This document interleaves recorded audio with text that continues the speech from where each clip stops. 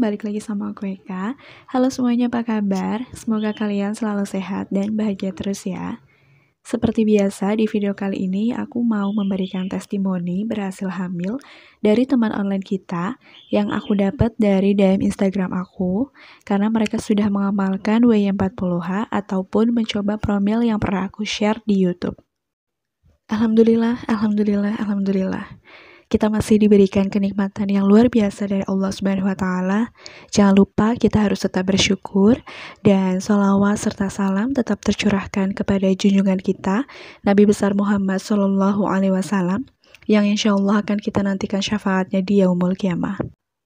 Anyway, apa kabar kalian para pejuang garis 2 dan apa kabar juga kalian para pejuang W40H dan W30H? Apakah kalian masih semangat untuk mengamalkan dan mencapai hajat yang ingin kalian capai? Atau kalian sudah berhasil dengan mengamalkan W40H atau W30H? Atau kalian mencoba promil yang pernah aku share di YouTube, kemudian kalian berhasil? Coba komen di bawah ya. Apa sih yang kalian dapetin? Misalnya kalian belum mendapatkan tes pegaris 2, tapi mungkin kalian mendapatkan keberkahan-keberkahan yang lain, kalian boleh komen di bawah ya. Untuk teman-teman yang baru gabung di channel aku, aku ucapin selamat datang. Kenalin aku Eka. Di sini aku sharing tentang promil dan juga uh, tentang W40H dan juga W30H.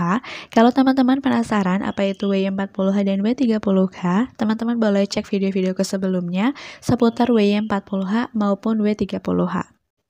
Oke, kita ke testimoni yang pertama ya. Kalian pasti sudah gak sabar dan pasti ingin mensolawati maupun ingin mencontoh keberhasilan dari teman-teman yang sudah berhasil mendapatkan tes PGRIS 2 dan ya it's ini dia testimoninya. Kak, akhirnya aku positif hamil. Nah, terus aku jawab, Masya Allah, Alhamdulillah, selamat kak. Akhirnya penantiannya dijabah sama Allah. Penantian berapa lama nih? Iya, makasih Kak.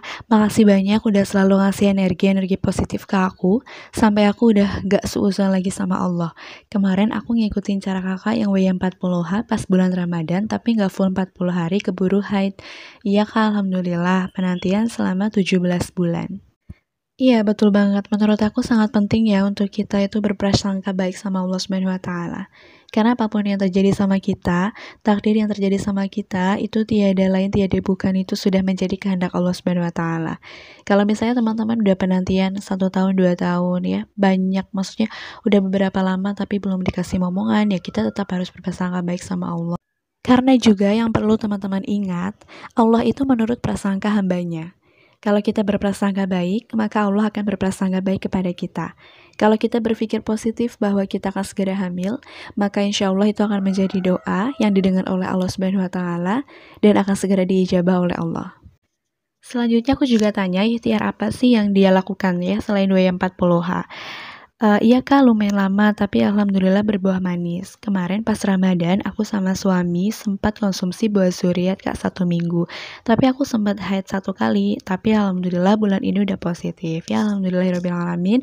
Selamat buat kakaknya. Semoga kehamilannya dilancarkan dan dimudahkan sampai persalinan. Dan kakak juga sama bayinya selamat, sehat. Dan ia tumbuh menjadi anak yang soleh soleha berbakti sama kedua orang tuanya. Promil yang terakhir aku lakukan adalah mengonsumsi buah dan kurma muda. Itu aku order di Tina Shop 123. Ini nggak di-endorse sama sekali ataupun disponsori ya.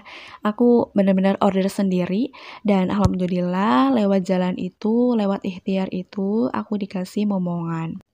Lanjut untuk testimoni berikutnya. Assalamualaikum Kak. Alhamdulillah sangat saya selalu ucapkan. Cerita sedikit Kak ya. Saya udah nikah hampir satu tahun bulan Agustus ini. Dulu sebelum menikah pun dalam hati sudah ada cita-cita kalau nikah pengen segera diberi momongan. Sebelum puasa bulan lalu sudah berpikir kok belum juga. Kemudian saya buka-buka YouTube. Alhamdulillah ketemu channelnya kakak, ada ikhtiar batin dan lahir. Ini tes saya lakukan kemarin, saya telat 4 hari. Soalnya setiap bulan selalu telat teratur headnya ya aku senang banget sih setiap buka DM terus ada laporan positif hamil itu kayak jadi mood booster dan juga imun booster buat aku sendiri saya benar-benar mengikuti saran kakak buat pasrah semua sama Allah Subhanahu wa taala. Ikhtiar batin saya sama amalin Yasin sama Wakinga dan lahirnya sama konsumsi madu dan buah suriat. Tiap hari juga konsumsi kecambah, Kak. Ya, sebelum tes itu awalnya masih ragu, Kak. Alhamdulillah Kakak upload di YouTube buat tidak ragu tes. Akhirnya paginya langsung tes, Kak. Terima kasih, Kak. Saya sangat yakin banget setelah sering lihat YouTube-nya Kakak. Semuanya harus benar-benar ikhlas, sabar, dan pasrah sama Allah. Ini masih nggak nyangka kak kalau telat. Doakan amanah yang dititipkan ke saya sehat, tak kurang suatu apa pun ya kak sampai proses melahirkan. Semoga kakak dan keluarga juga diberikan kelancaran oleh Allah dalam segala hal baik. Amin, amin ya robbal alamin. Satu hal yang sering banget aku bilang di setiap promil aku, bahwa setiap hal, segala hal apa pun itu, kalau kita ingin mencapainya, maka kita harus pasrahkan semua sama Allah.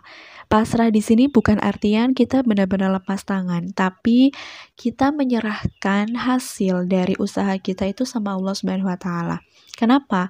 Karena yang punya ketentuan itu Allah Subhanahu wa taala. Kita manusia tugasnya hanya beribadah, berusaha dan juga berdoa perkara hasilnya bagus atau enggak menurut kita, itu semua udah menjadi keputusan Allah.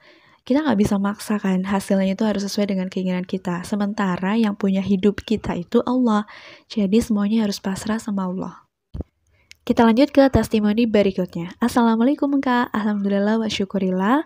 Masya Allah, tabarakallah, akhirnya aku positif hamil kak. Setelah penantian satu tahun dua bulan dan pasca keguguran lima bulan lalu dengan mengamalkan Riyadhah W 30H dan resep JSR satu bulan. Terima kasih ya kak konten-kontennya dan saran-sarannya untuk promil. Doakan semoga lancar kehamilanku sampai persalinan. Nah, yang penasaran dengan JSR apa? Teman-teman bisa langsung scroll down video-videoku sebelumnya. Di sana sudah aku jelaskan apa itu JSR. Jangan males ya untuk lihat video-videoku yang sebelum-sebelumnya. Insya Allah banyak manfaat yang bisa teman-teman dapatkan. Dan kalau teman-teman benar-benar mengamalkan sesuai dengan apa yang aku uh, apa ya share di YouTube, insya Allah, insya Allah, insya Allah akan berbuah manis. Kita lanjut ke testimoni berikutnya.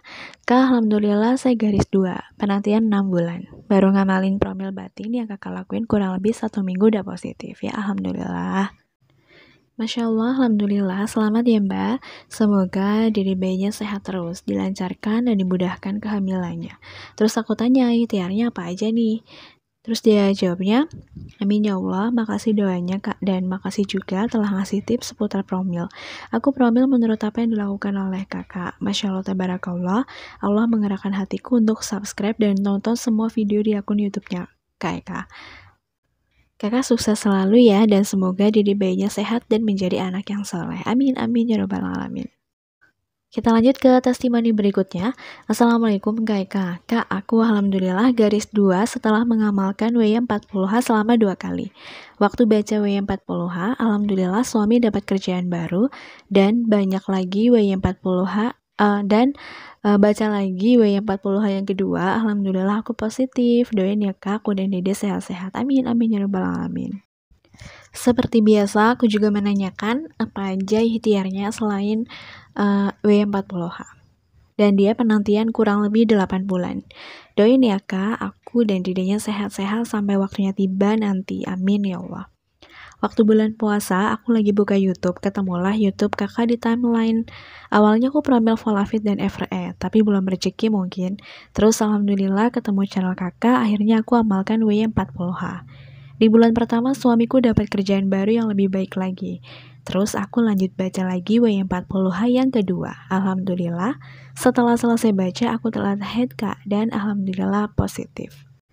Nah, ternyata kakak ini melakukan W40H itu nggak cuma sekali ya, tapi dua kali. Hmm, baca yang pertama, suaminya dapat kerjaan yang lebih baik. Baca yang kedua, alhamdulillah positif. Dan aku masih suka dapat DM dari teman-teman yang aku udah baca nih W40H udah selesai nih 40 hari tapi kenapa ya kok aku belum hamil juga? Anyway uh, usaha kita mungkin kurang keras ya usaha kita cuma segitu aja sementara ingin kita banyak jadi mungkin usaha kita tuh harus lebih keras lagi. Membaca W40H itu tidak hanya bisa 40 hari ya, tapi dilanjut seterusnya. Meskipun mungkin nggak baca setiap hari, tapi insya Allah dengan kebiasaan-kebiasaan baik selama 40 hari itu akan membuat perubahan untuk uh, diri kita. Jadi nggak ada salahnya untuk kita baca terus-terusan dan mengharapkan dari diri Allah Subhanahu Wa Taala. Segini aja testimoni yang bisa aku share ke teman-teman. Semoga video ini bisa bermanfaat dan bisa membuat teman-teman para pejuang garis dua lebih semangat. Kalau teman-teman yang udah berhasil hamil atau mungkin mendapat keberkahan yang lain dari WY40H, boleh komen di bawah atau boleh uh, share di DM Instagram aku. Aku akan share di YouTube aku. Terima kasih udah nonton videonya sampai habis. Sampai jumpa di video-video berikutnya. Wassalamualaikum warahmatullahi wabarakatuh.